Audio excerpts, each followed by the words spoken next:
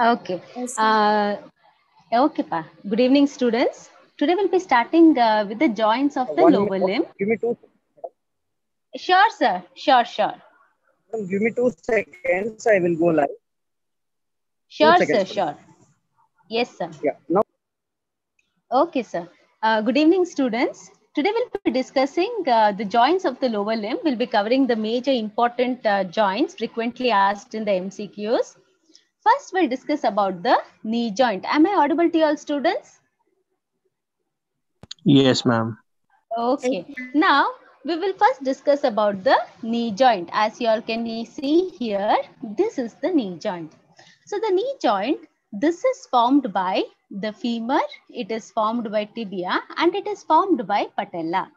Now, which component of the femur, tibia, and patella will form the knee joint is here what you're seeing, this is the fibula. So this is the lateral aspect. This is the medial aspect.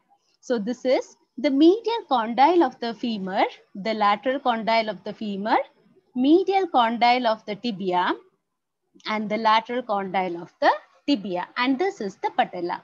So these joints, the two condyle are medial and the uh, lateral condyles of the femur and the tibia along with the patella will form this knee joint. And furthermore, you can see that there is some partition here which is called as the menisci. There are two menisci. This is the medial menisci and this is the lateral menisci. This menisci will divide the joint cavity into two compartments. We will discuss that later. It is because of these features, the knee joint is a complex synovial joint. Complex because there are almost three joints which participate in the formation of the knee joint. There are two condylar joint. This is lateral condylar, the uh, medial condylar joint, and the patella femoral joint or the femoropatellar joint. And this is a condylar and modified hinge joint. It is called, called condylar because the condyles participate in the formation of the knee joint. And it is called as the modified hinge joint because we know that in hinge joint, the transverse axis, it is just like the hinge of the door where the, the transverse axis brings about the movement. But in the knee joint, it is called as modified because the transverse axis is not fixed. It moves forwards along with extension and it moves backward along with flexion. That is why it is called as modified hinge joint. So we have already discussed the bones which participate in the formation of the knee joint. Now we will see the articular surfaces which uh, help in the formation of the knee joint. So the articular surfaces we have already discussed the condyles. This is the we have the two condyles that is the medial condyle of the femur, medial condyle of the tibia, lateral condyle of the femur, lateral condyle of the tibia. So these are the articular surfaces and this is the posterior articular surface of the patella and this what you're seeing here is, is the patellar articular surface on the femur. So it is in this region the patella will articulate with the femur and form the femoropatellar joint. Now, this is to show you that the articular surfaces are covered by the hyaline cartilage. So, the hyaline cartilage will cover the articular surfaces. This is the femur as you can see and this is the tibia. Now on the posterior aspect, this is the posterior aspect. You all can see the two condyles which are covered by the hyaline cartilage and in between them is the intercondylar fossa. Now what you're seeing here, that is the meniscus. Since the fibula is here, this is the lateral aspect, this is the lateral meniscus and this is the medial meniscus. So as already discussed, this meniscus will divide the joint cavity into two compartments. So above the meniscus will be the upper compartment, below the meniscus will be the lower compartment. This upper compartment is called as meniscofemoral compartment. Upper compartment is called as meniscofemoral compartment, where mainly flexion and extension occurs in the upper compartment. Now, in between the men, am I audible, Pa? Yes, ma'am, but the screen is lagging, ma'am. Uh, the screen is lagging, is it? Yes, ma'am. Uh, fine, fine, Pa. Is it the same for everyone, students? No, ma'am. Okay, uh, probably some net problem. Pa. Okay, I will just try to go a little bit slow. Yes. So, uh, so we have the meniscus here. Above the meniscus and femur is the menisco-femoral compartment. Now, below the meniscus and the tibia will be the meniscotibial compartment. So, in the lower compartment, mainly rotatory movements will occur. We will discuss once again later.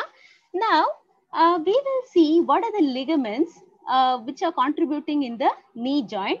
There are almost around 12 ligaments. We will discuss the most important ones. So first is the capsular ligament. Now the capsular ligament will enclose the knee joint. Let us trace this capsular ligament. This is the femur as you all can see. This is the anterior aspect of the femur and this is the posterior aspect of the femur.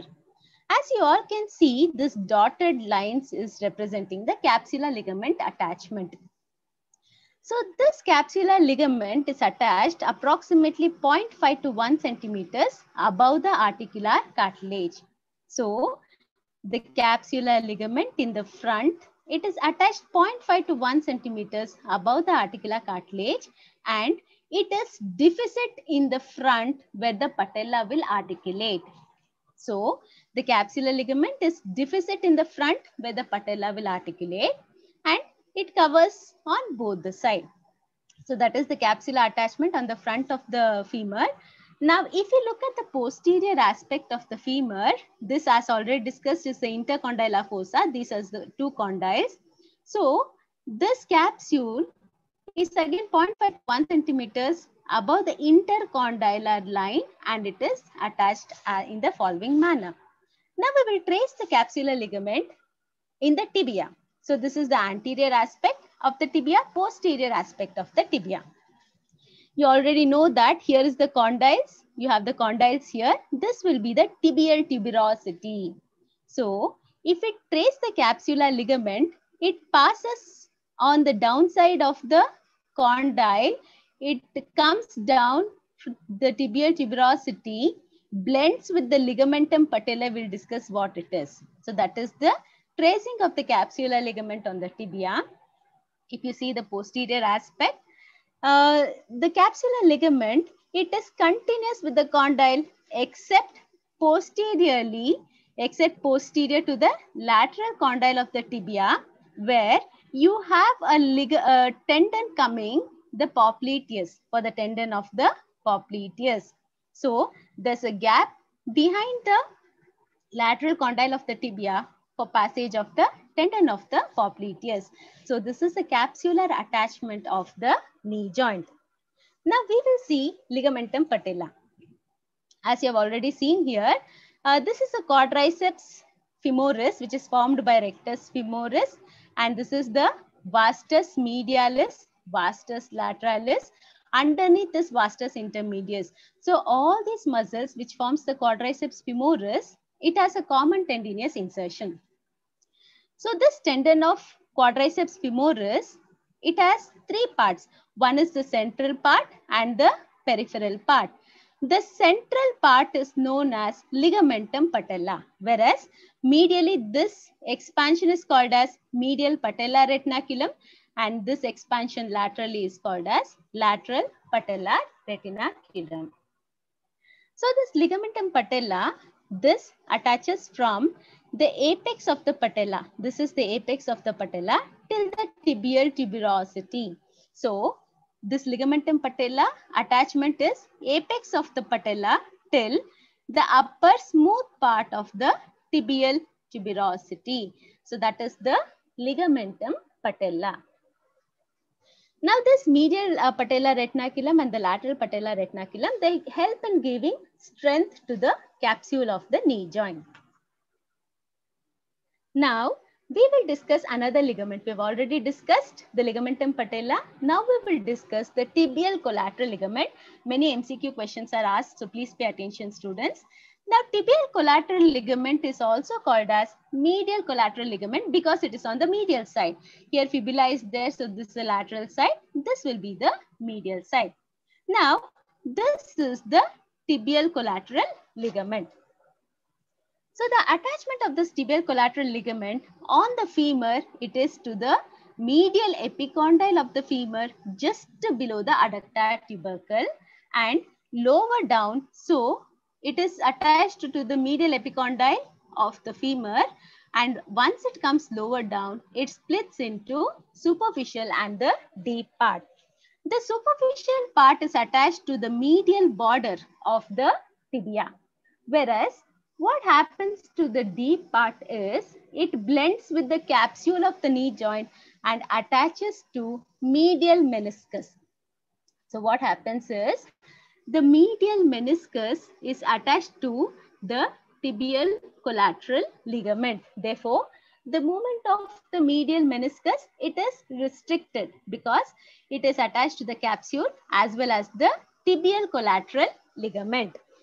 Now, this tibial collateral ligament, as we have already discussed, we said that it is attached to the epicondyle, medial epicondyle of the femur.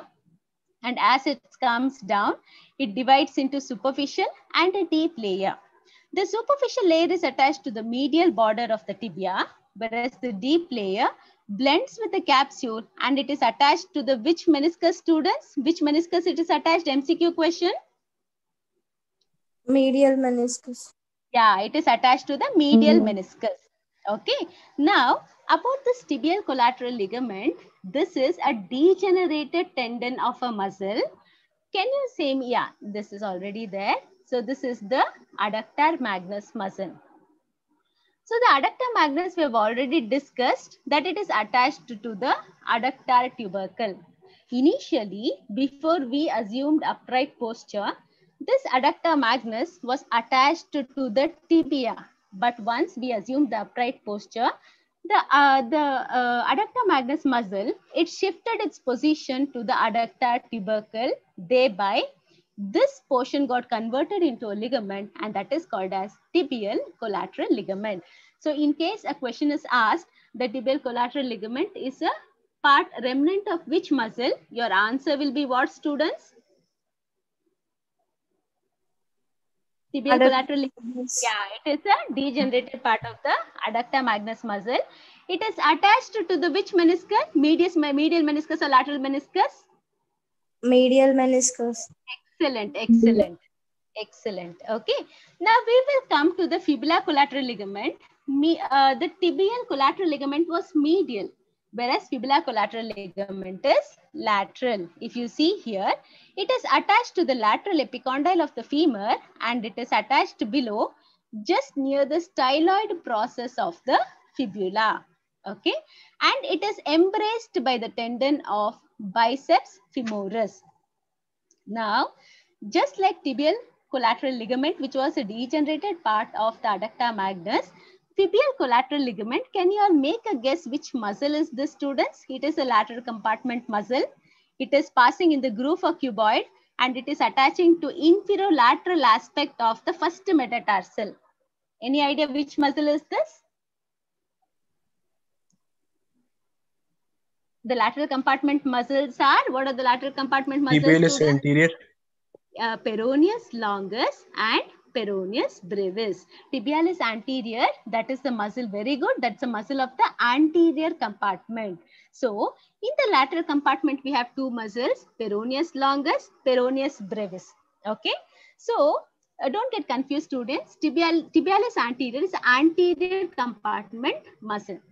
So, this muscle is known as peroneus longus. Actually, yeah, one student said uh, tibialis anterior that is attached to inferomedial aspect of the first metatarsal, whereas to the inferolateral aspect, peroneus longus will be attached. So, the initially peroneus longus muscle was attached to the femur, but as we assumed the bipedal uh, uh, locum bipedal the upright posture, this portion of the peroneus longus became uh, degenerated and it is called as fibular fibular collateral ligament. Now there's another MCQ question on this. Now we already discussed that the tibial collateral ligament was attached to the medial meniscus, right? Now fibular collateral ligament, this is the fibular collateral ligament. It is separated from the lateral meniscus by tendon of popliteus. So tendon of popliteus will separate the fibular collateral ligament from the lateral meniscus. Okay. So that is one more MCQ we will discuss later. So if someone asks you, the fibula collateral ligament is degenerated part of which muscle? What will be your answer, students? Erroneous Peroneus long. Excellent, excellent. Is it attached to meniscus, lateral meniscus? No, ma'am. Yeah, it is not attached. Why it is not attached? Because there is the tendon of tibialis posterior in between them. Okay. Now we will see. So by now we have discussed the ligamentum patella. We have discussed the tibial collateral ligament from adductor magnus. It was formed. We have discussed the fibula collateral ligament, which was formed by peroneus longus. Now we will discuss oblique popliteal ligament. Students, if you were present for the last few classes, you will tell me this ligament is formed by a muscle. Which muscle, students? Oblique popliteal ligament. I will tell you the answer. So oblique popliteal li ligament, you remember the muscle? Semimembranosus. Semi yeah, very good, very good. So semimembranosus was attached to posterior aspect of the medial condyle of the tibia. Right, semimembranous is at, uh, attached to posterior aspect on the medial condyle of the tibia. It sends an expansion which is called as oblique popliteal ligament. This oblique popliteal ligament, it will give strength to the capsule of the knee joint posteriorly and where it is attached? It is attached to the intercondylar line. Between the two condyle is the intercondylar line and the lateral condyle. So this is the oblique popliteal ligament. Now there's an MCQ question asked on this oblique popliteal ligament. What are the structures which pierce the oblique popliteal ligament? So it is middle genicular. Middle genicular means uh, knee. Middle genicular artery. It is in the center. So middle genicular means knee and artery. This is a branch of popliteal artery. This along with middle genicular nerve and posterior division of the obturator nerve will pierce the oblique popliteal ligament. But your MCQ question is asked on the middle genicular artery. So middle genicular artery, which is a branch of popliteal artery, pierces the oblique popliteal ligament. It will go enter inside the knee joint. It will supply two ligaments which are called as cruciate ligament. I will discuss it later. So uh, it is the middle genicular artery, which is a branch of popliteal artery, which will pierce the oblique popliteal ligament, enter the knee joint, and it will give blood supply to the cruciate ligament. Now, we will see about the cruciate ligament. Again, this is a very important uh, slide. This is the superior aspect of the tibia. So this is the anterior tibial tuberosity is here. So this is the anterior aspect and this is the posterior aspect. Now, we will first see what are the structures attached. Now, what you can see here is, this is the lateral condyle, this is the medial condyle tibia. First, we will see what these menisci are. Saying this posterior horn of the medial meniscus. So we will draw the medial meniscus first. This is the anterior horn. So what I've drawn now is the medial meniscus. Let me draw the lateral meniscus as well. So this is the lateral meniscus. So meniscus is like this. It's in the form of a C-shaped letter. Now this meniscus, it has two horns. Facing anteriorly is the anterior horn. Anterior horn. Laterally is the, I mean, posteriorly is the posterior horn. So in between the condyles of the tibia is the intercondylar eminence where all these structures are present. What you're seeing here. Let us start from anterior to posterior aspect. First structure what you encounter is, what is this students? Anterior is the- horn. Yeah, medial meniscus. Very good. Anterior horn of the medial meniscus. After that, you will have one cruciate ligament. I will tell you first. There are two cruciate ligament, anterior cruciate ligament and posterior cruciate ligament. They are named based on their attachment to the tibia. Anterior cruciate ligament is attached anteriorly on the tibia. Posterior cruciate ligament is attached posteriorly on the tibia.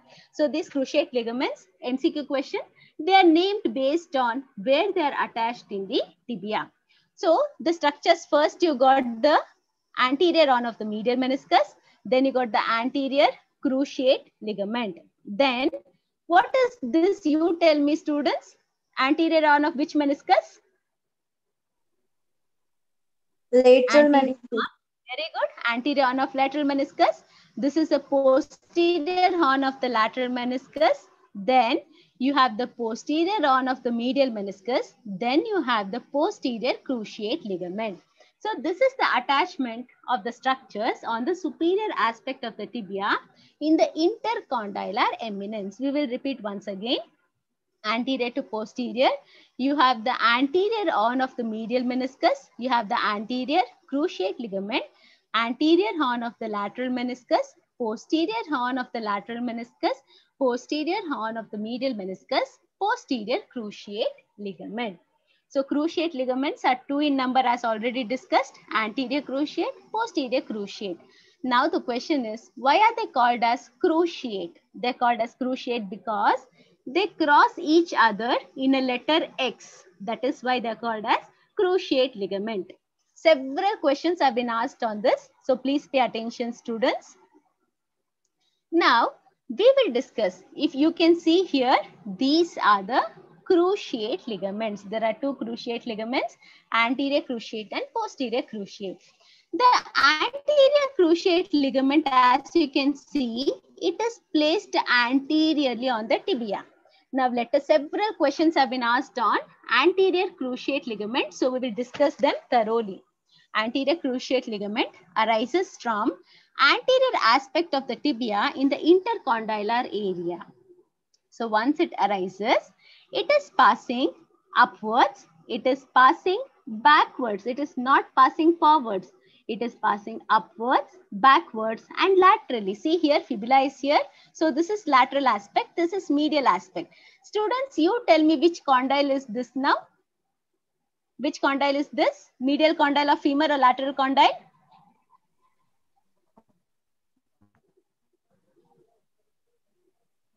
Yes. See here, fibula is here. So it is a lateral aspect. So this is the lateral condyle of the femur. This is the medial condyle of the femur, right? So in the lateral condyle, this is the lateral surface of lateral condyle.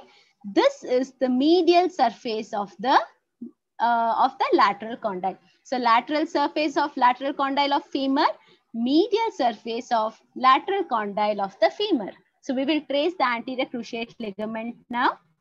It was attached on the anterior aspect of the tibia. It passed upwards, backwards and laterally. And where did it attach? It attached to the medial surface of lateral condyle of the femur to the posterior end. Shall I repeat it once again, students? Yes or no? No, ma'am. Okay, is it clear? Fine. So that was about the cruciate ligament.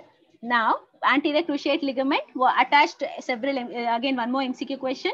Anterior cruciate ligament is attached to which condyle? It is attached to the lateral condyle. Which surface of lateral condyle? Medial surface. Is it anterior or posterior? Obviously, it is attached to the posterior.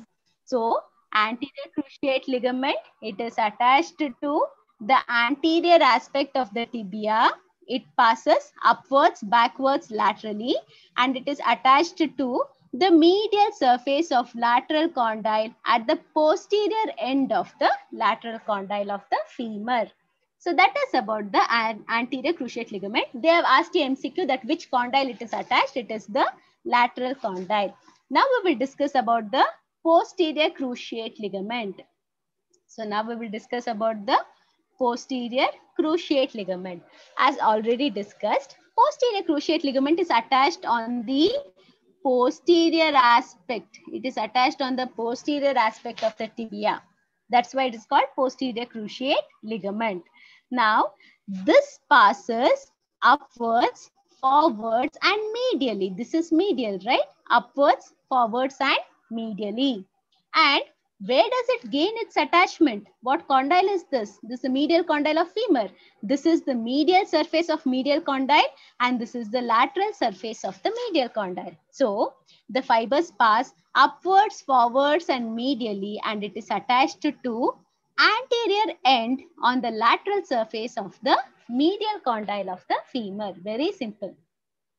So posterior cruciate ligament MCQ question is attached to which condyle of the femur? Medial condyle anterior cruciate ligament is attached to which condyle? Lateral condyle of the femur. So that is about the cruciate ligament. Now, what is the function of this cruciate ligament? We will first discuss about the anterior cruciate ligament. So we will discuss about the anterior cruciate ligament. Now this anterior cruciate ligament, what is its function? It sees that it maintains the anterior posterior stability of the knee joint as well as the side to side stability.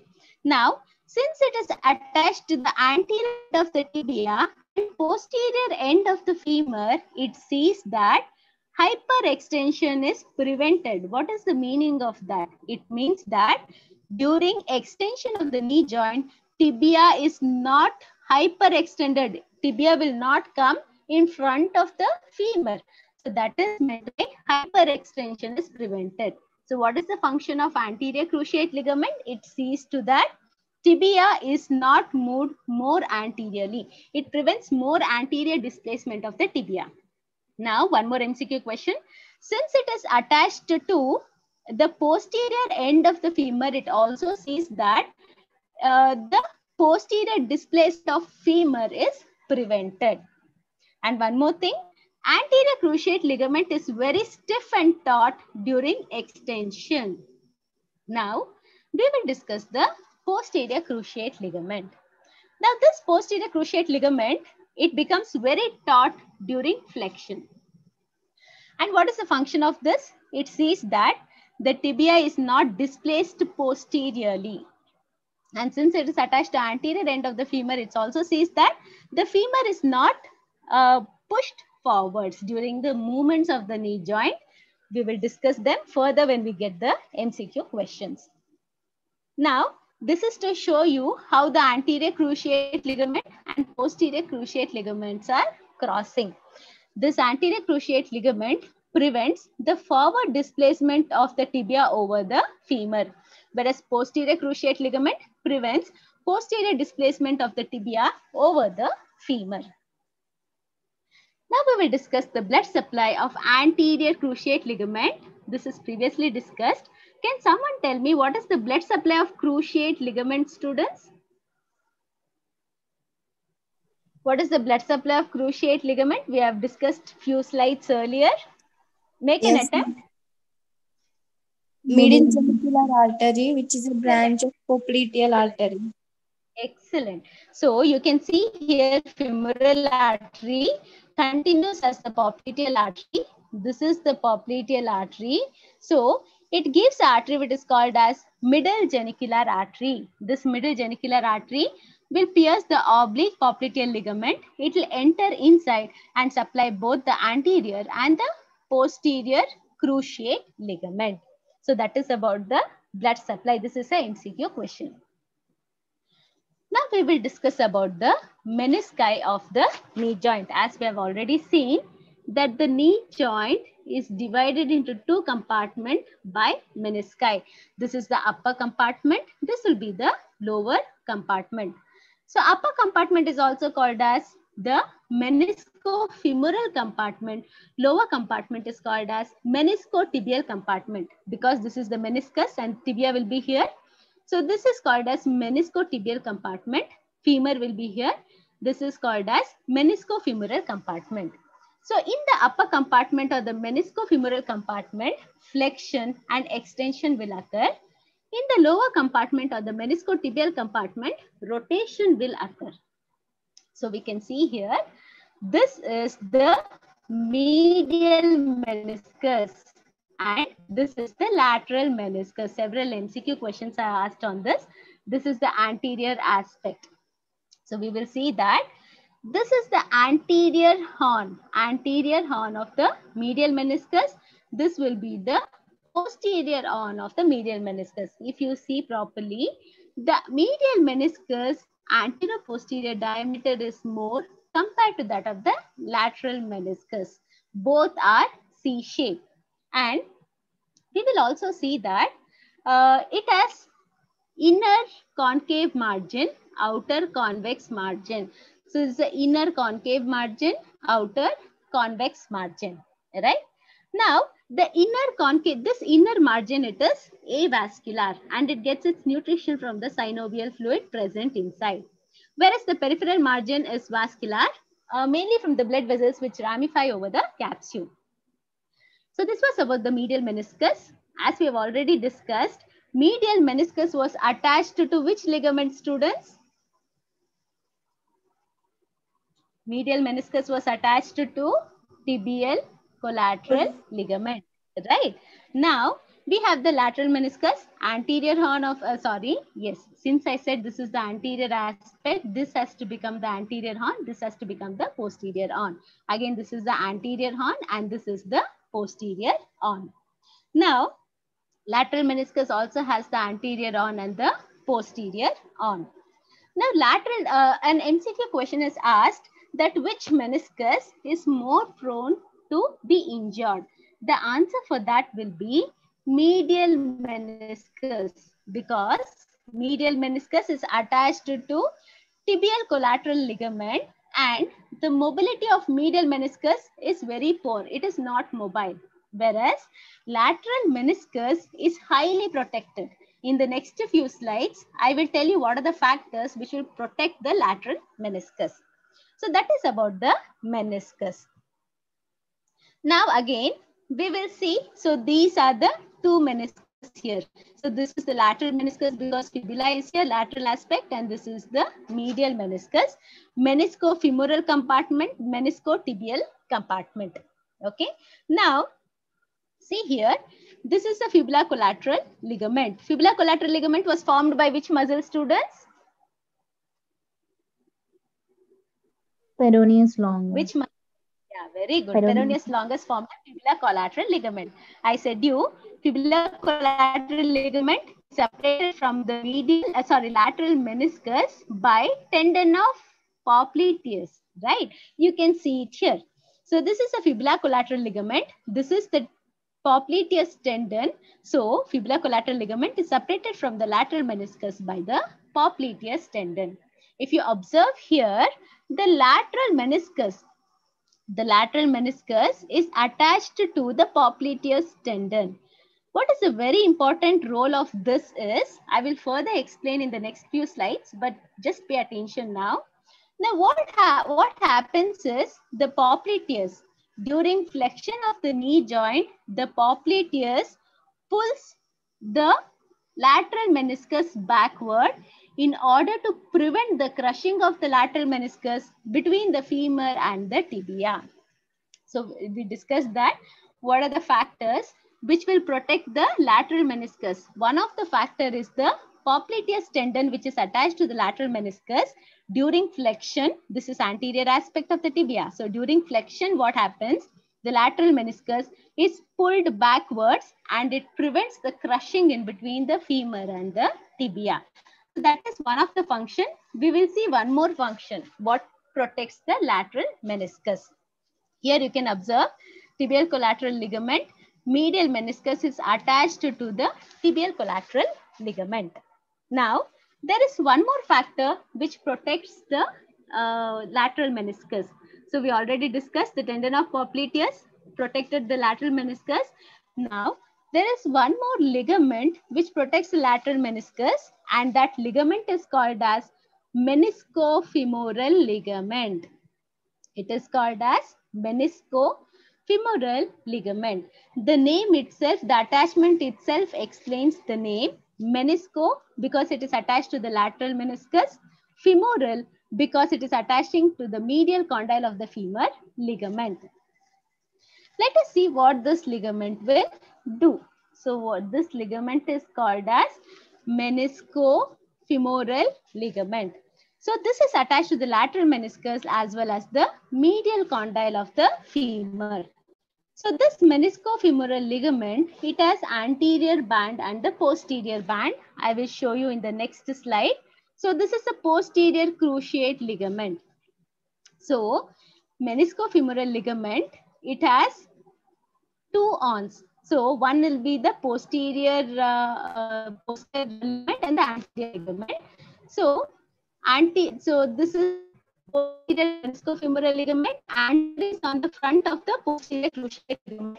Both of them attach to the medial dial of the femur.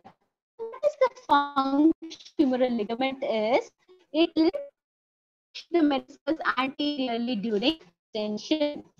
We discussed that the popliteus tendon attaching to the lateral meniscus will push the tendon backward during flexion, whereas the meniscofemoral uh, ligament will push the lateral meniscus forwards during extension.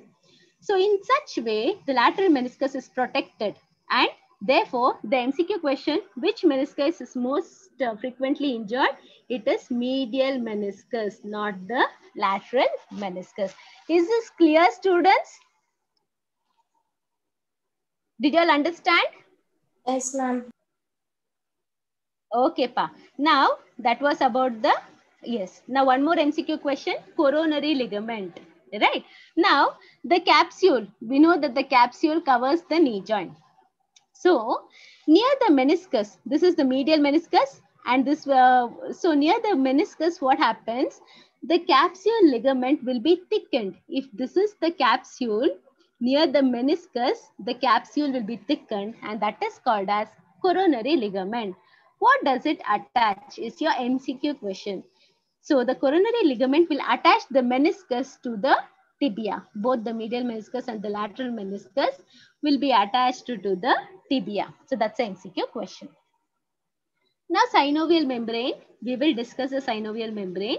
The synovial membrane, it lines the inner aspect of the capsule.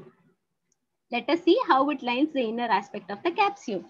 Now, the synovial membrane, it is not attaching to the articular surface. So, the red color thing what you're seeing here, that is the reflection of the synovial membrane. If you observe properly, anterior cruciate ligament, posterior cruciate ligament. So, these anterior cruciate and posterior cruciate ligament are not surrounded by the synovial membrane. I will show you one more diagram. If you see here, this is the anterior cruciate ligament. This is the posterior cruciate ligament. So the reflection of the synovial membrane is such that the cruciate ligaments are not surrounded by the synovial membrane. That is why one more MCQ question. The cruciate ligaments are intracapsular because they are inside the capsule and they are extra synovial because they are not surrounded by the synovial membrane. That is the MCQ question. Now, there is one more very, very important mechanism which is called as locking and unlocking of the knee joint. Uh, very, very important. I'll uh, explain very slowly, students. Now, first we'll discuss about the locking. Before that, I will tell you one point. This is the lateral condyle of the femur and this is the medial condyle of the femur. If you observe properly, the anteroposterior diameter of the lateral condyle is less compared to the anteroposterior diameter of the medial condyle. Just keep this in mind. The anteroposterior diameter of lateral condyle is less than the anteroposterior diameter of the medial condyle. Now, we will see what is the meaning of locking of the knee joint. Now, just imagine you're standing and you're trying to walk. So, you're, you can just imagine one of your leg is on the ground. You have lifted one leg to take the next step. Now, this leg is already in extension, whereas this knee is in flexion.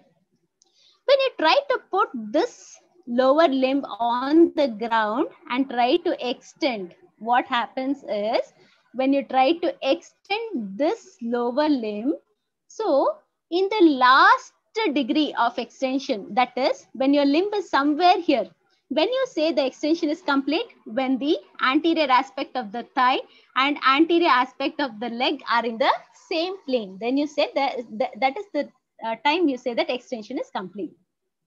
So what happens is during extension, in the final 30 degree of extension, which means that just a 30 degree before extension, what happens is, I've already discussed, anterior posterior diameter of the lateral condyle of femur is less than that of the medial condyle. So what happens is, this is the lateral condyle, this is the medial condyle. So in last 30 degree of extension of the knee joint, because the anteroposterior diameter of the medial condyle is more, there is medial rotation of femur over the fixed tibia. That is known as locking mechanism of the knee joint. Now, what happens in locking is all the ligaments are taut and the joint is very protected. So, this is known as locking mechanism. Locking mechanism is brought about by the quadriceps muscles, mainly vastus medialis. Students, should I explain the locking mechanism once again? Yes, ma'am. Yes, I will explain it once again. See here, in simple words, what do you mean by locking? And why should locking of the knee joint occur? Now, what nature has done is, the center of gravity of the knee joint is slightly in front. Therefore, there are more chances of hyperextension. That is, the femur can come in more uh, over the tibia. So what nature has done is, it will lock the knee joint in such a way that hyperextension of the knee joint is prevented and the joint is safe and secure. So what happens? This is flexion of the knee joint, right? when you make extension of the knee joint, when you do the extension of the knee joint, so when you extend it, what happens? In the last few degrees of extension, just before complete extension, the femur rotates medially over the tibia. So what happens? The femur rotates medially over the tibia and the joint is said to be locked. That means the joint is locked and no movement will occur. If movement has to occur, the joint should be unlocked. Only then movement will occur. So in simple words, if someone asks you what is locking of the knee joint, you will say the medial rotation of the femur over the tibia in final degree of extension. Is it clear students?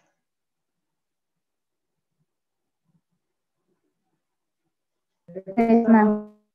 Is it clear everyone? So that is the locking. Which muscle brings about locking? Which muscle brings about locking students? Vastus medialis. Vastus medialis.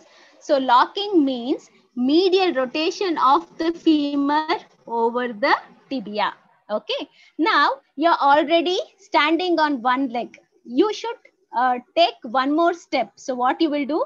You will have to flex your knee joint. So that time the knee joint from the locked position should be unlocked. Very simple. For locking, the femur rotated medially over the tibia. For unlocking, the femur will rotate laterally over the tibia. For unlocking, popliteus muscle is the muscle of unlocking. Very, very important. Several MCQ questions have been asked on this. Muscle of unlocking is popliteus. Muscle of locking is vastus medialis. Clear students? Is this aspect clear? Should I explain once again? No, ma'am. Okay, pa. Okay. Once again, during the MCQ question, if you have some doubt, uh, problem, I will explain. So that is the locking and unlocking of the knee joint. Now, if you see, there are two components again here. When the uh, foot is on the ground, when the foot is off the ground, very, very simple, we will discuss it. So locking and unlocking mechanism, when the foot is on the ground, what do you mean by this? When you're standing, when your foot is on the ground, we will see what is locking. When your foot is off the ground, we will see what is uh, locking and unlocking. First, we will discuss when you're standing on the ground. That is, when your foot is on the ground, very simple. Locking means when your foot is on the ground, locking means medial rotation of femur over which bone students? Tell me. Medial rotation of femur o- over the excellent excellent so that is locking when your foot is on the ground just imagine you are standing which is the muscle for locking mcq question Vastus medialis. Very good very good. vastus medialis now unlocking when the foot is on the ground same thing just explained so your uh, your limb is locked for unlocking. Lateral rotation of femur over the tibia is known as unlocking which is the muscle of unlocking. Very very important. Muscle of unlocking students. Popliteus. excellent excellent excellent. Popliteus okay. So this is when your foot is on the ground. Never forget when the foot is on the ground locking of the knee joint means medial rotation of femur over the tibia muscle is vastus medialis. If in option if they have not given vastus medialis if they have given quadriceps femoris you should mark this answer. More near answer is vastus medialis. Unlocking of the knee joint is lateral rotation of the femur over the tibia the muscle is popliteus. Okay now we will see one more aspect. This is already explained. Yes yes. Now we will see one more aspect. Now imagine you're sitting on a chair.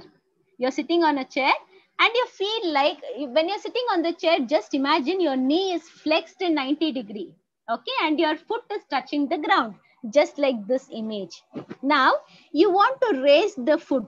You want to raise the foot. Let us see about the locking and unlocking when the foot is off the ground. See here the foot is off the ground. In such case again this is a mcq question. What happens is during final degree of extension of the knee joint now because the foot is off the ground opposite occurs. That is tibia will move laterally over the fixed femur tibia will move laterally over the fixed femur. This is known as locking. What is unlocking? When you try to bring it back to the ground that time tibia will move medially over the fixed femur. So that is foot on the ground locking and unlocking. Very simple. So when the foot is off the ground so the knee uh, there's lateral rotation of tibia over the fixed femur unlocking is medial rotation of the tibia over the fixed femur. Students did you all understand this concept? Foot on the ground foot off the ground locking unlocking mechanism. Should i explain again students?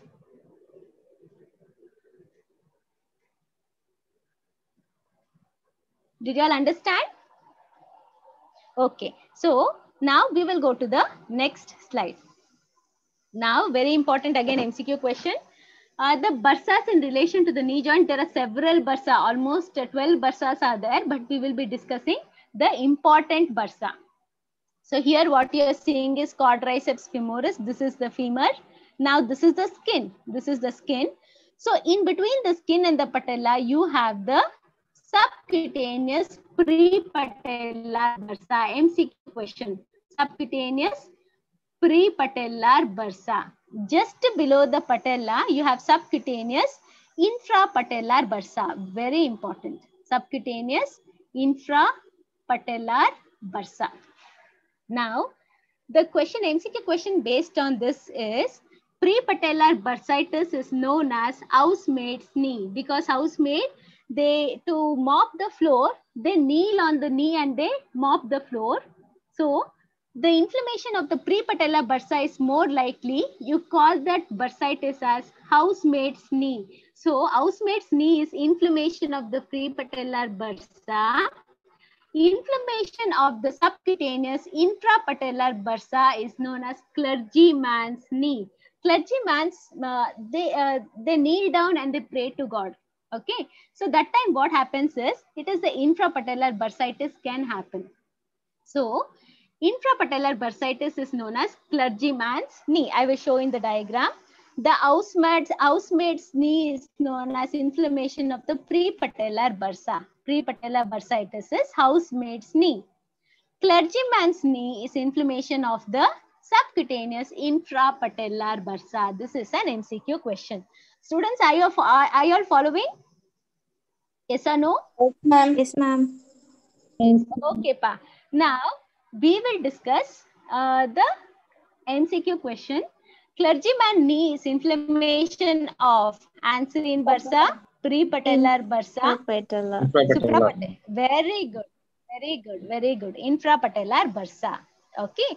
Now, anterior cruciate ligament originates from posterior part of the, this is the tibia, anterior posterior.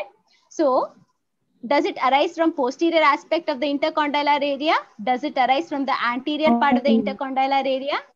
Does it arise from medial part of the medial femoral condyle or lateral part of the lateral femoral condyle? What's your answer, students? Anterior. Anterior part of intercondylar area of tibia. Excellent. Excellent. Yeah, very good. Now, a health, uh, healthy young adult sitting at a table. Now, just imagine one person is sitting on a table with knee at 90 degree flexion. What will happen when he fully extends the knee? You remember and uh, the locking when the foot is off the ground. So we will discuss movement of the tibial tuberosity towards the medial border of the patella. Movement of the tibial tuberosity towards the lateral border of the patella. Movement of tibial tuberosity towards the center of patella. No change in relationship. You make a guess, students. We will discuss. B. B. Of movement of tibial tuberosity towards Very good, lateral very border. Very good. So that means the tibia is moving laterally over the fixed femur. Okay. So your answer is movement of tibial tuberosity towards the lateral border of the patella. Okay. Now, if the tibial tuberosity moves towards the medial border of the patella, what do you call that condition as? What, what term is that? Locking or unlocking? Unlocking of knee. Excellent, excellent. That is called as Unlocking. unlocking. Very good. Now, anterior cruciate ligament prevents anterior dislocation of the tibia, posterior dislocation of the tibia, anterior dislocation of the femur, posterior dislocation of the femur. Anterior Anterior dislocation of the femur. Posterior dislocation. Yeah, yeah, correct. So, we discussed anterior cruciate ligament is attached to the anterior aspect of the tibia. It is attached to the medial aspect of lateral condyle to the posterior end, right? So, this ligament sees that tibia is not displaced anteriorly as well as femur is not displaced posteriorly. So, your answer will be Anterior cruciate ligaments prevents anterior dislocation of tibia because it is attached to the anterior aspect of the tibia and it prevents the posterior dislocation of the femur because it is attached to the posterior end of the medial surface of the lateral condyle of the femur. So this is the answer for that. The blood supply of anterior cruciate ligament is derived from superior middle medial genicular artery, descending genicular artery, Middle genicular artery. Excellent. Middle genicular artery. A boy is playing football. It receives a blow on the lateral aspect of the knee and suffered a twisting fall. His medial meniscus is damaged. Which other structures is most likely to be injured? Deltoid ligament, posterior, posterior cruciate ligament, anterior cruciate ligament, patellar ligament. Any idea, students? Anterior cruciate ligament. Excellent, excellent. Now, what happens is, see, a boy is playing football, receives a blow on the lateral aspect of the knee. Now, if this is a lateral aspect, the boy received a blow on the lateral aspect of the knee and he suffered a twisting fall. So, what happens is, along with the medial meniscus, now one uh, simple trick here is medial meniscus is closely related to tibial collateral ligament as well as anterior cruciate ligament. Okay.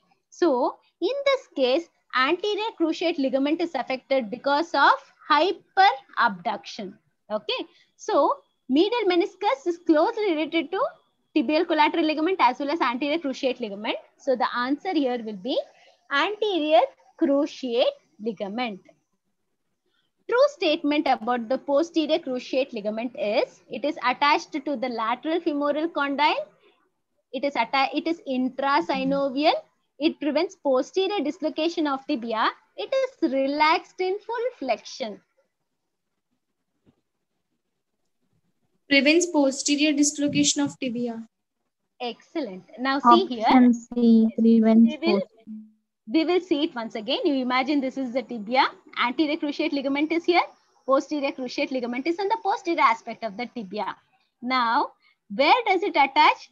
It attaches to the anterior end. Where does it attach? To the anterior end on the lateral surface Lateral of the surface of medial the medial condyle of the Excellent, excellent. So it is not attached to lateral femoral condyle. It is attached to medial, Medial femoral, femoral condyle. condyle. Is it intrasynovial students? no. No, ma'am. Intracapsular It extrasynovial. is not. Yeah, very good, very good. It is intracapsular because it's inside the capsule. It is extrasynovial because the synovial joint will, yeah, it will not cover the anterior and posterior cruciate ligament. That is why it is not intrasynovial. It is extrasynovial. Correct. Your answer is correct. Prevents posterior dislocation of tibia. And we discussed that posterior cruciate ligament, it is taut in flexion. It is not relaxed, right? So your answer is prevents posterior dislocation of tibia. True about medial meniscus made up of hyaline cartilage. Injury to lateral meniscus is more frequent than medial meniscus. It is C-shaped. It is fixed to medial or tibial collateral ligament. Inner part is more vascular. What do you think is the answer, students? It is C-shaped and fixed to medial collateral. option Excellent, excellent. We will solve it now. It is not made up of hyaline cartilage. It is made up of fibrocartilage. Okay. And uh, injury to lateral meniscus is not frequent because it is protected by so many things. Can you tell me one thing? Tendon of popliteus and meniscofemoral ligament that will uh, protect the lateral meniscus. Unfortunately, medial meniscus is more frequently injured. We already discussed it is C-shape. It is fixed to tibial collateral ligament, correct. We discussed the meniscus as inner avascular, outer peripheral vascular. So this is also wrong. So your answer is it is C-shaped and it's fixed to the medial collateral or tibial collateral ligament. Posterior dislocation of tibia on femur is prevented by posterior cruciate ligament, anterior cruciate ligament, medial meniscus, lateral uh, meniscus, medial collateral ligament. Posterior, Posterior dislocation, cruciate ligament. very good. Posterior dislocation of tibia on femur is prevented by posterior cruciate ligament. Now, coronary ligament of knee is situated in between menisci and synovium, two posterior arms of the menisci, meniscus and tibial condyle, meniscus and femoral condyle. Coronary ligament of knee is situated between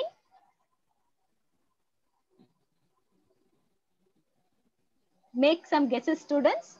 Yeah. Yes. Answer is answer is yeah. Answer is C because see we have the meniscus, medial meniscus, lateral meniscus, and the capsule is surrounding the knee joint. The, that portion that portion of the capsule near the menisci will be thickened and it will attach the meniscus to the tibia. So your answer will be meniscus to the tibial condyle. Now, physiological locking involves internal rotation of femur over the stabilized. Internal rotation means medial rotation. Internal rotation of femur over the stabilized tibia. Internal rotation of tibia over the stabilized femur. External rotation of tibia over the stabilized femur. External rotation of femur over the stabilized tibia. Option A. Internal rotation of femur over stabilized tibia. Stabilized Um. Excellent. When is this? When the foot is on the ground or off the ground? On the ground. On the ground. Very good. Very good. On the ground. Now there is one more option when the foot is off the ground. Identify that option as well. External rotation of the tibia over stabilized femur. Excellent. Now, Excellent. When the foot is off the ground, when the foot is off the ground, external rotation or lateral rotation. Okay, over the tibia, over the stabilized femur. So that is your answer. True about posterior cruciate ligament. This is already discussed. Prevents posterior displacement of the tibia. Attaches to lateral femoral condyle. uh, intrasynovial inserted on medial side of medial femoral condyle. What is the answer?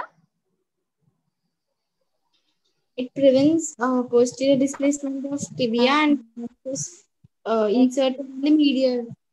Yeah, see, the answer is yeah. Now see, only this is the answer because the posterior cruciate ligament is attached to which condyle student is attached to the me uh, the femoral condyle. Medial femoral condyle. the not the medial surface it is attached to the lateral surface right? Lateral surface of the medial femoral condyle which end? Anterior end. So that is the posterior cruciate ligament. Now oblique popliteal ligament is pierced by anterior branch of popliteal artery medial inferior genicular branch of popliteal artery medial superior genicular branch of popliteal artery middle genicular branch of the popliteal artery Middle genicular. Middle genicular Yeah. branch of radial artery. Excellent. Okay. Now, oblique popliteal ligament attaches to semimembranosus, semitendinosus. Excellent. Semimembranosus, you remember? This is semimembranosus attachment. From the semimembranosus, there is oblique popliteal ligament. Okay. There is one more triad which is called as O'Donoghue triad, comprises of I will explain this students. Now what happens is usually in uh, in footballers when their foot is planted on the ground and they suffer a lateral injury to the knee that time what happens because of hyperabduction as already discussed there will be anterior cruciate ligament tear medial meniscus and medial collateral ligament this is called as unhappy triad so in this, what happens? Three structures are torn. Anterior cruciate, medial meniscus, medial collateral ligament. Now we will discuss the skeleton of the foot. Okay. Now before that, am I audible students? Yes, Yeah, ma'am. Okay, pa. Now we will discuss the skeleton of the foot. As you all know, we have discussed this bone is the talus. Underneath what you have is the calcaneum. These two tarsal bones are in the proximal layer, proximal line. Okay. In the middle line, you have the navicular. Can you see this board-shaped tarsal bone? That is the navicular bone. So that is in the middle row. In the distal row, you have the cuboid, which is laterally, and three cuneiform. Medial cuneiform, intermediate cuneiform, lateral cuneiform. So all these are the tarsal bones. Now, these are the metatarsal bone. First, second, third, fourth, and fifth. These are the phalanges. Okay. So these are the bones of the foot. Now, uh, we will come across the joints of the foot. Uh, first, we will discuss the ankle joint. Later, we will go to the foot uh, joints. Now, before that, yes, we will discuss about the talus. So this bone, there is the talus. So the talus, if you see it from, uh, if you see the talus from up, this is the view what you see. Okay. So what you're seeing here, first let me explain the parts of the talus. This is the head of the talus. Head of the talus. This is the neck of the talus. This is the body of the talus. Okay. Now, again, this is the head of the talus, neck of the talus. This is the body of the talus. Now, this trochlear, trochlear shaped aspect, this will articulate with the tibia and it will form the ankle joint. Okay. Now, if you see the talus from medial aspect, if you hold the talus and see it from the medial aspect, this is what you will see. You will see that uh, medially, the talus has a comma-shaped articular surface. This articulates with medial malleolus to form the ankle joint. Okay. Now, the head articulates with the boat-shaped navicular bone and it will form talo-navicular or the talo-calcaneonavicular. We will discuss that later. If you turn the talus and see the inferior aspect, this is what you will see. So, this is the head. Underneath, these two will articulate with the calcaneum part, which is called as sustentaculum tali. I will show it later. Okay. So, this portion articulates with the calcaneum to form subtalar. We will discuss once again as we see them. if you see the lateral aspect of the talus, this is what you see. It has a triangular lateral articular facet, which will articulate with the lateral malleolus of the fibula. Okay. So these are some of the aspects of the talus. We will discuss them once again. Okay. Now, in the talus, we have something called as a medial tubercle. There is a groove for flexor hallucis longus not asked so far. And this is the lateral tubercle of the talus. We will discuss them in detail. Before that, we will discuss the calcaneum as well. So this calcaneum, if you see from above, this is what you will see. Anteriorly, it will articulate with the cuboid. Okay. Now, it has anterior talar facet. You have these facets. They will articulate with the uh, with the talus to form talocalcaneo navicular joint. Again, we will discuss it later. So this articular surface will articulate with the talus to form subtalar. We will discuss it later. Okay. Now, this is the plantar aspect. If you see the calcaneum from below, this is what you will see. So you have three tubercle, anterior tubercle and two posterior tubercle. I will discuss it. And two posterior tubercle. So here, the long plantar ligament is attached, not asked so far. This is the posterior aspect of calcaneum. In the middle third, tendo tendoachilles or the Achilles tendon will uh, join. The calcaneum seen from the lateral aspect, this is what you see. There is one tubercle here and this is called as the peroneal tubercle. Uh, just listen, it is not asked. In front passes peroneus brevis, lateral compartment muscle. Below passes peroneus longus, again the lateral compartment muscle. We will discuss them detail once again. Now, uh, yes. Now, one point here which we have to discuss is, yes, see, in the inferior aspect of the talus, there is a sinus which is called as tarsal sinus, tarsal sinus. And in calcaneum, you have one more sinus which is called as calcaneal sinus, sulcus.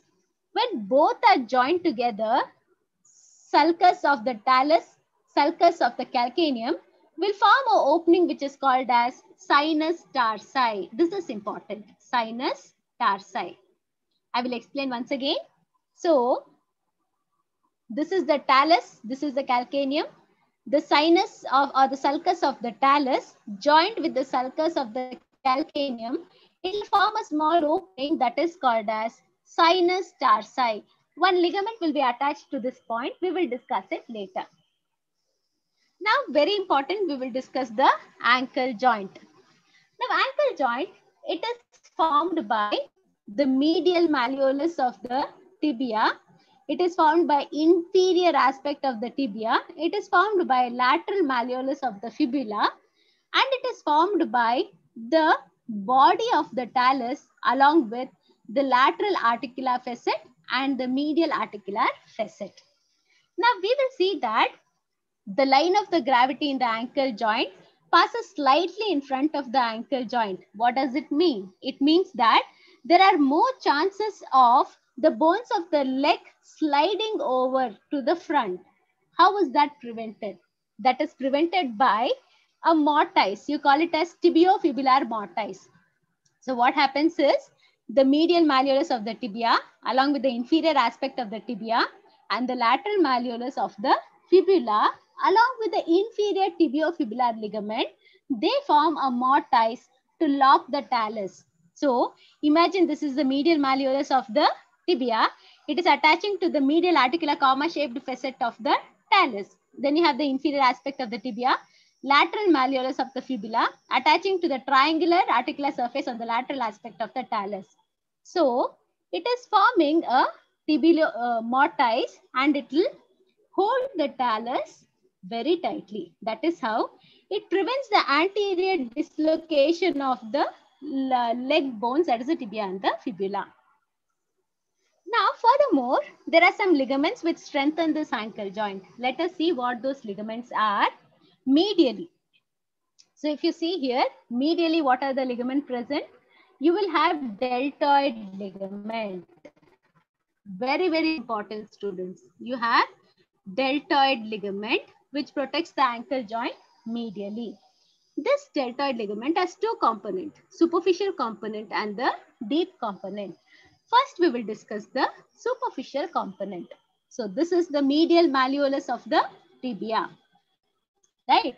So superficially, this is attached to, uh, see, tibio, tibio-navicular part. So from the tibia to the navicular bone extending is the tibio-navicular part, tibio-navicular ligament. From the medial malleolus of the tibia to the calcaneum is tibiocalcaneal part.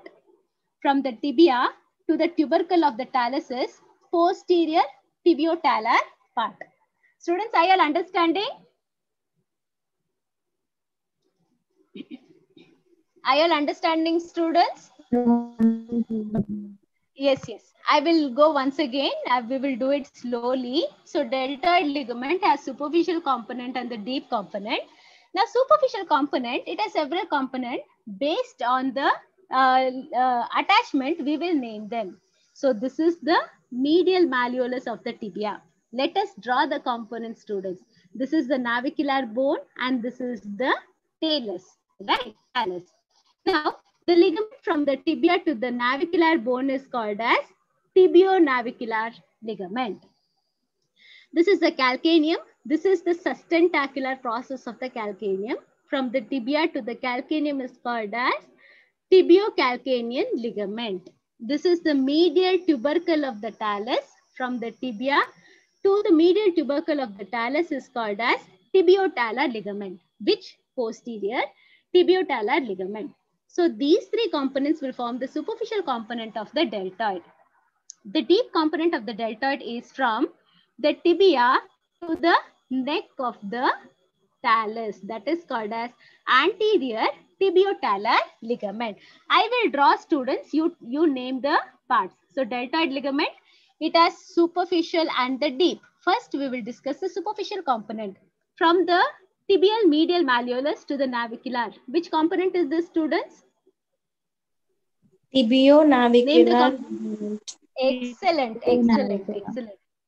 So from the tibia to the sustentaculum cala is called as tibiocalcanean. Tibiocalcanean.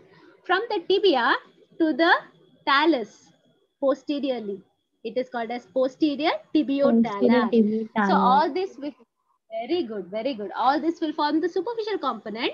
The deep component is formed by the tibia and the medial surface of the neck of the talus. Since it is anterior, it is called as anterior. You continue. What is the name of this ligament? Tibiotalar. Anterior, Anterior. tibiotalar. Very good. Very good. So these components will form the deltoid ligament. Okay. Now, laterally we will see the muscles very, very simple. So from the lateral malleolus attaching to the lateral aspect of the neck of the talus is called as anterior talofibular. From the fibula to the calcaneum is called as, you, call, you, you tell it calcaneofibular. Okay.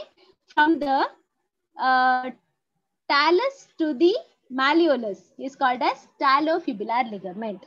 These are the lateral ligament. What are the lateral ligaments, students? We will see it here.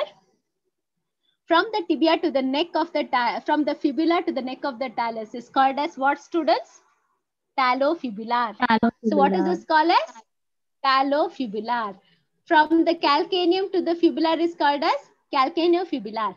From the talus to the malleolus is called as talofibular, posterior talofibular. This is anterior talofibular. So that finishes the ankle joint and its support anteriorly and uh, medially. Now we will discuss, this is not asked, but just pay attention students. So the ankle joint in front is supported by all the muscles of the anterior compartment of the leg we have discussed in last class. What were the muscles? Tibialis anterior, extensor hallucis longus, anterior tibial artery was there, deep peroneal nerve, which is the nerve of the anterior compartment. Then we have the extensor digitorum longus, peroneus tertius. Laterally, we have the peroneus brevis, peroneus longus, and posteriorly, Obviously, posterior compartment of the leg muscles, namely tibialis posterior, flexor digitorum longus. Then you have flexor hallucis longus and the two artery. The mnemonic for this is Tom, Dick, and Harry. Okay. So now, what are the functions of the ankle joint? Mainly dorsiflexion.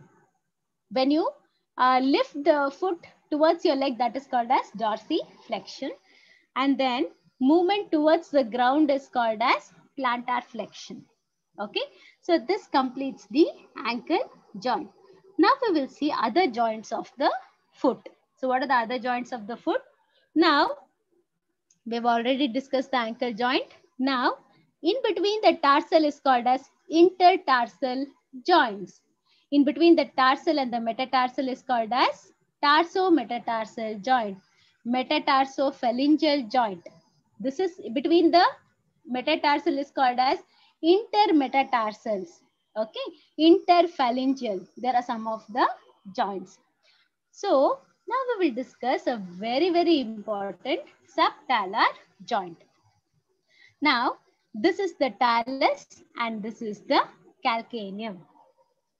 Subtalar joint is formed in between the talus and the calcaneum.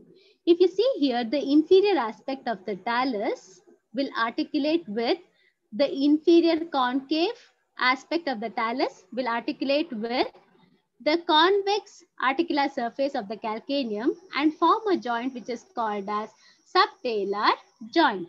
Okay, so this is a subtalar joint. Actually, the joints between the talus and the calcaneum are three in number. One is anterior and medial and one is posterior. Anteromedially, you call the joint as talo-calcaneo-navicular joint. Posteriorly, you have the subtalar joint.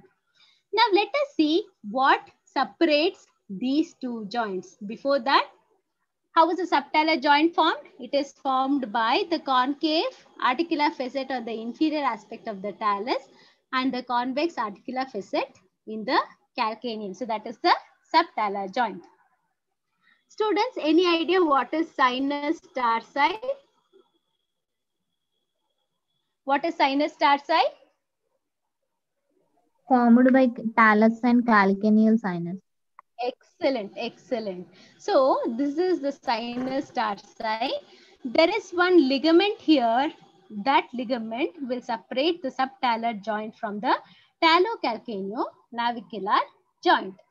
So we will discuss in future, uh, I mean, what are the ligaments forming the subtalar joint?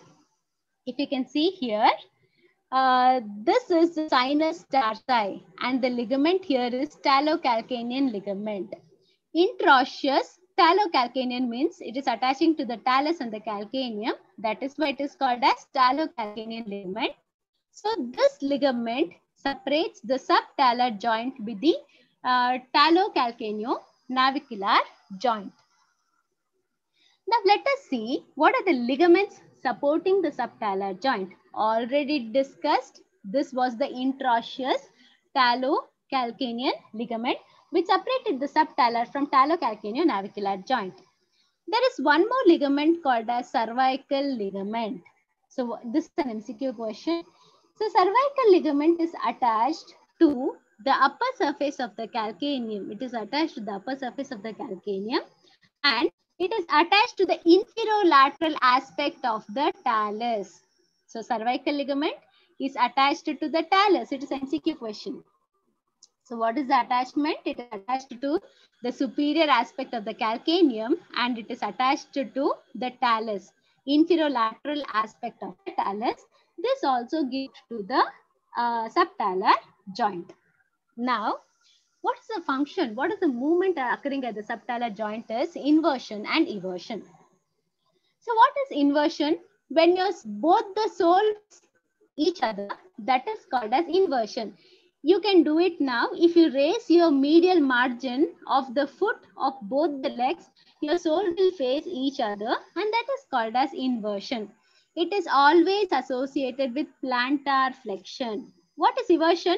Raise the lateral border of your uh, foot so that the sole will face outwards that is called as eversion. It is always associated with dorsiflexion. So when you do eversion, you will observe that there is dorsiflexion. Now we will come to one more joint. That is, uh, we have almost come to the end of the uh, class. Talocalcaneonavicular joint. So this articulation is between the talus, between the navicular and the calcaneum.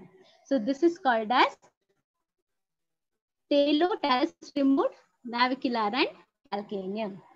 So this joint is called as talocalcaneonavicular joint. It is also called as mid-tarsal joint. Now we will discuss a MCQ question, plantar calcaneo-navicular ligament. Very simple. This ligament is called as spring ligament and it's called as calcaneo-navicular ligament because it is attached from the calcaneum to the navicular bone. That is why it is called as calcaneo-navicular ligament. So what is the spring ligament also called as students? MCQ question. Calco Spring ligament is also called as ligament. Very good. Calco Very good. Very good. So this is a calcaneum, ta- tali of the sustentaculum tali of the calcaneum. So the spring ligament is attached to the sustentaculum tali of the calcaneum to the navicular bone. So it is called as plantar calcaneonavicular ligament. This ligament supports the talo uh, ligament. See this ligament here. Now, this is called as spring ligament. I will tell you why it is called as spring ligament. So this is the spring ligament. Below, it is supported by tendon of tibialis posterior. And which component of talus is this, students? This is the head of the talus. If you see here, the head of the talus is resting over the spring ligament. And actually what happens is, this part is covered by a fibrocartilage where the head of the talus rests over the spring ligament. Now, what happens when you stand on the ground? This medial longitudinal arch, the concavity reduces. When you lift your leg above from the ground, the media, the concavity of the medial longitudinal arch is restored. So that is why it is called as spring ligament because of this action. Okay. Now your MCQ question here is the talus. Head of the talus is supported by which ligament? What is the ligament, students? Ligament. Very good, very good. Now, there is one more component which is called as supination. By now, you know what is supination of the hand, uh, of the uh, upper limb, right? Similarly, we have already studied inversion and eversion. What is inversion, students? What is inversion? Elevation of medial ligament. Yeah, very good. Medial elevation of the medial so that the sole will face each other, right? Now, uh, inversion is best appreciated when the foot is off the ground, when it is not on the ground. But when the foot is on the ground and you lift the medial border of the foot, that is called as supination. It is not called as inversion. Okay. Now, so supination is associated with inversion and plantar flexion. Whereas pronation, when you raise your, when the foot is on the ground, you raise the lateral margin of the foot. So pronation occurs along with eversion and dorsiflexion. Okay. Now we will answer the MCQ question. The stability of the ankle joint is maintained by all except ankle joint, spring ligament, deltoid ligament, lateral ligament, shape of the talar articular surface. What is the answer, students? Make some guesses.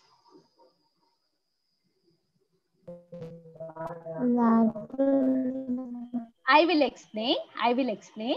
See here, ankle joint, we already said that the tibia and fibula, it formed a mortise in which the talus was locked, right? So shape of, yeah. So uh, shape of the talar uh, bones contributed in the stability. You remember the deltoid ligament on the medial aspect which supported the ankle joint? It was made up of tibionavicular, tibiotalar, tibiocalcanean. The lateral ligament is also giving strength to the ankle joint. What are the component? You have the tibio, uh, talofibular, anterior talofibular, posterior talofibular, calcaneofibular. So all these are the ligaments of the ankle joint which supported the ankles from the lateral side. Deltoid ligament supported the ankle from the medial side. So all these are the correct options.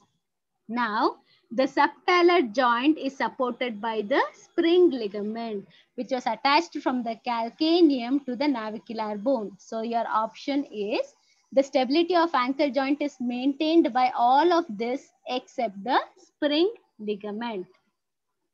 Deltoid ligament is not attached to medial malleolus, sustentaculum tali, spring ligament.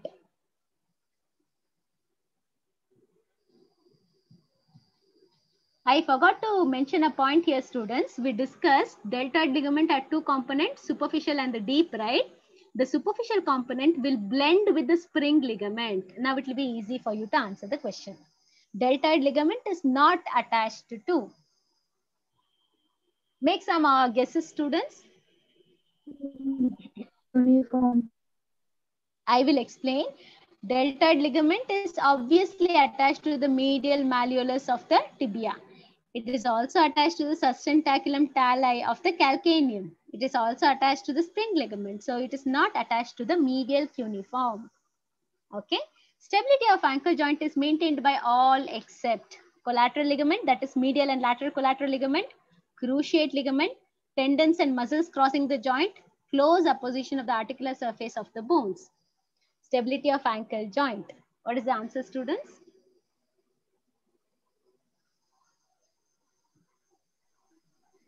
Okay, I will explain. Cruciate ligament. Excellent, excellent. Cruciate ligament, where did you encounter? In the knee joint. Anterior cruciate, posterior cruciate. Right? Yeah, very good. So that's the answer. Deltoid ligament has the following component except medial malleolus. This is okay. So anterior tibiotalar, tibionavicular, tibianian, calcaneonavicular. What is the answer, students? Plantar calcaneonavicular is also called as what? Spring ligament, right? So, answer will be deltoid ligament as the following component except. You remember the medial malleolus? From the medial malleolus to the tibia, it is tibiotalar, anterior. From the posterior tibiotalar, tibionavicular, tibiocalcaneal, right? So that is the answer. Which of the following ligament is not attached to talus? Not attached to talus. Talonavicular, deltoid ligament, spring ligament, cervical ligament. Very simple. What is the answer, students? Spring ligament. What is excellent, excellent. Spring ligament is also called as calcaneo navicular plantar calcaneonavicular. So talus is not attached. Very good. So that's a spring ligament. Spring ligament consists of all except plantar calcaneocuboid, plantar calcaneonavicular, medial calcaneonavicular, lateral calcaneonavicular. See, spring ligament does not consist of this. Anything to do with calcaneonavicular is the spring ligament. It has two components, medial and lateral. Okay, so the option here will be plantar calcaneocuboid is not a part of spring. Whenever you speak spring ligament, your mind it should come that it is plantar calcaneonavicular ligament, having both medial and lateral components. Ligament supporting the talus, we have already discussed. Head of the talus was supported by which ligament? Spring ligament, deltoid, talonavicular, cervical ligament. Head of the talus was resting on a ligament which was supported by fibrocartilage. Which ligament is that, students? Answer is the spring ligament. Are you all understanding, students? Yes or no? Okay. Eversion occurs at the following joint. Eversion and inversion occurs at which joint? Subtalar, tibiotalar, inferior tibiofibular, ankle.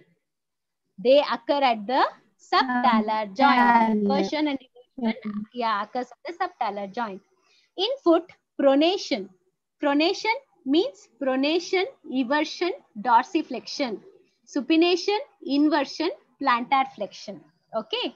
So during pronation and supination, what happens is the talonavicular and calcaneocuboid joint, which are the mid-tarsal joints, their axis becomes parallel to each other. So that is the answer for this question. During pronation, so the joint whose axis becomes parallel is talo calcaneonavicular as well as talonavicular and calcaneocuboid. Now, the last few slides of the hip joint.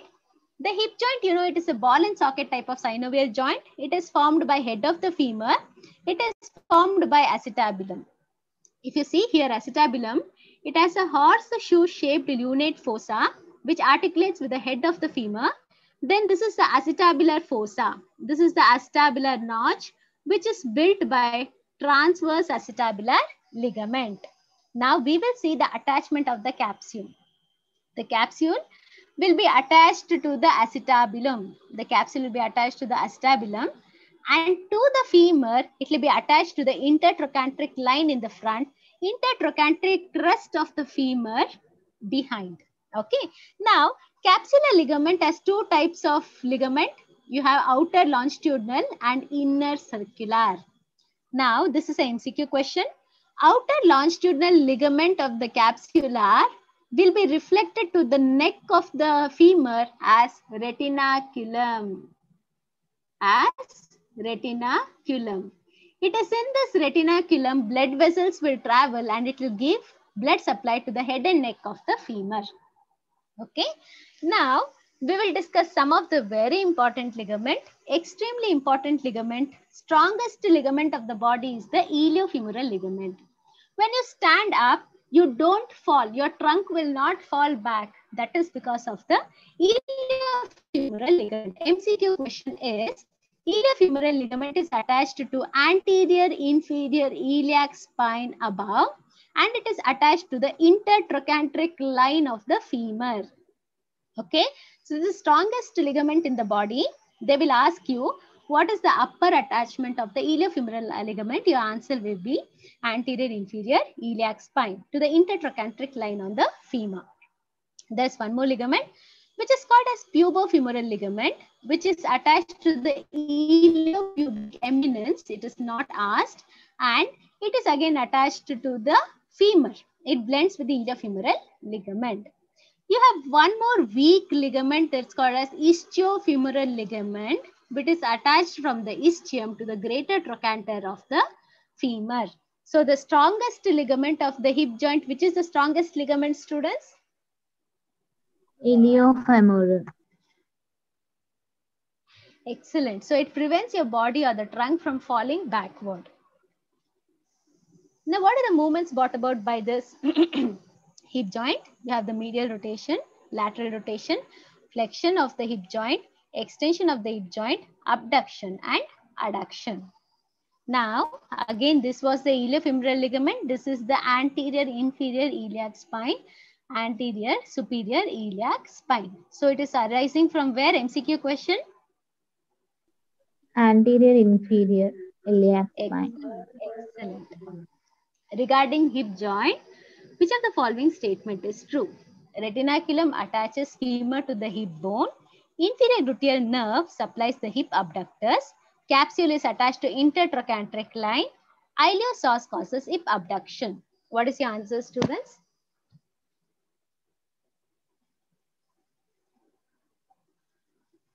Make some guesses. this is the last slide.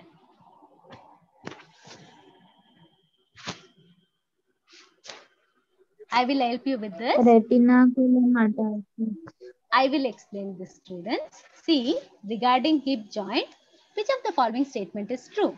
Retinaculum. What is retinaculum? We discussed that the capsule as longitudinal, outer longitudinal, inner circular fibers, right?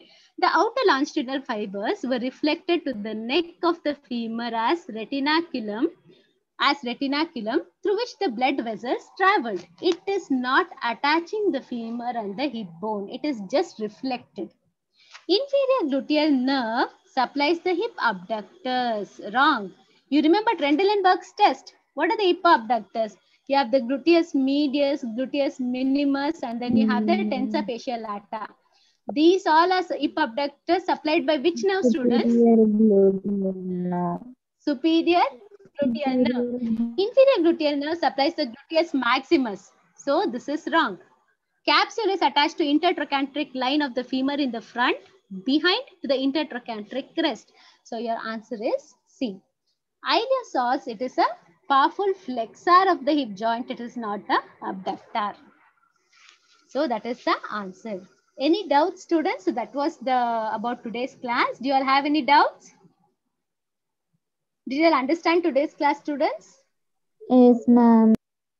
Okay, pa. So in case you all have some doubts, kindly mail me. I will answer your doubts. So can we end the class now? Yes, ma'am. Thank you, ma'am. Okay, students. Thank you so much. All the best. Thank you so much.